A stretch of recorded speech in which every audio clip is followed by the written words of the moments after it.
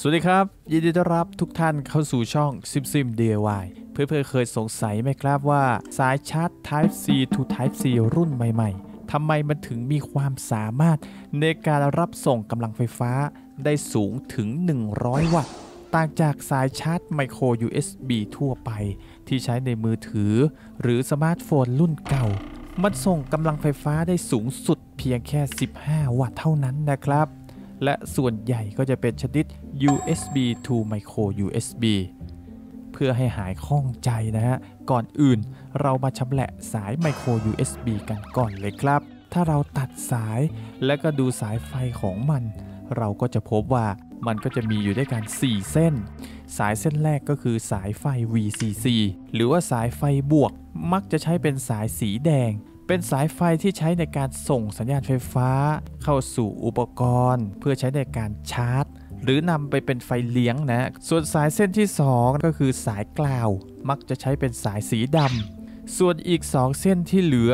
มันก็จะเป็นสายส่งข้อมูล ตรงนี้ผมจะยังไม่ไปยุ่งกับมันนะครับ แต่ที่น่าสนใจก็คือ เรามาดูขั้วเสียบของหัวไมโคร USB กันครับ เพื่อนๆก็จะเห็นลายทองแดงทั้งหมด ที่มันออกมาใช่ไหมครับ สังเกตตรงสายไฟบวก หรือเขียนไว้ว่า VBus และสายกลาวที่เขียนคำว่า GND นั่นก็คือสายไฟเลี้ยงของวงจรทั้งหมดนะครับ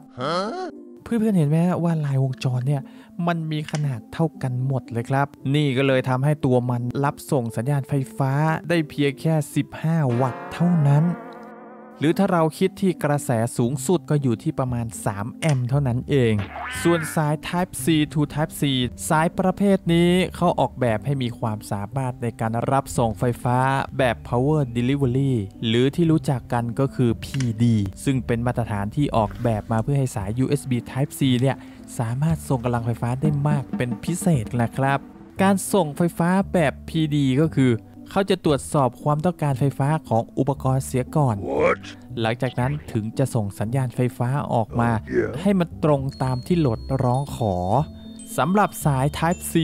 มันสามารถส่งไฟฟ้าได้สูงสุด อย่างที่ผมบอกก็คือ 100 วัตต์ ส่วนกระแสสูงสุดที่มันส่งได้นะมากถึง 5 แอมป์เลยนะครับ แรงดันก็ระหว่าง 5 โวลต์ถึง 20 โวลต์ครับ และที่มันส่งกำลังไฟฟ้าได้สูงสุดถึง 100 วัตต์ เพราะมันมีการออกแบบให้สายไฟบวก หรือสายไฟ V-bus เนี่ย ต่อขนานได้พร้อมกันมากถึง 4 เส้น ซึ่งก็จะช่วยให้มันสามารถส่งสัญญาณไฟฟ้าได้อย่างมีประสิทธิภาพค่อนข้างสูง ถ้าเรามาดูที่รูปนี้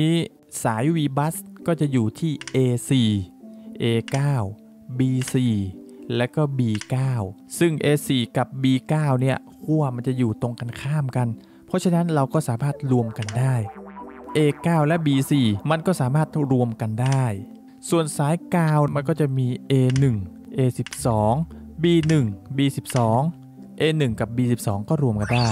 และ A12 กับ B1 ก็รวมกันได้เช่นกัน เพราะฉะนั้นลักษณะในการวางแบบนี้ เพื่อนๆก็จะเห็นว่าสาย Type C เนี่ย มันสามารถเชื่อมต่อถึงกันได้ทั้งสองด้าน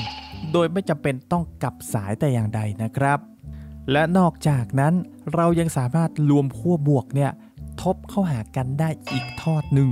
เมื่อทบกันมันก็จะกลายเป็นสายไฟเส้นเดียวๆ ใหญ่ ๆ ซึ่งจะทำให้ตัวมันเนี่ยรองรับกำลังไฟได้มากถึง 100 วัตต์ เพราะฉะนั้นนะฮะโน้ตบุ๊กแท็บเล็ตรุ่นใหม่ๆ ที่ต้องการกินกำลังไฟ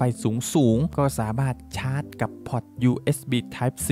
ที่เขียนคำว่า PD ได้แล้วล่ะครับ เดี๋ยวอีกหน่อยนะ เราก็อาจจะไม่เห็นอะแดปเตอร์ที่มันเป็นหัวกลมๆแบบนี้ เขาอาจจะเลิกใช้แล้วก็ได้นะครับสำหรับคลิปนี้นะ ผมขออธิบายไว้เท่านี้ก่อน ถูกผิดประการใดช่วยชี้แนะช่วยแนะนำด้วยนะครับ ขอบคุณเพื่อนๆทุกท่านที่ติดตามชมครับ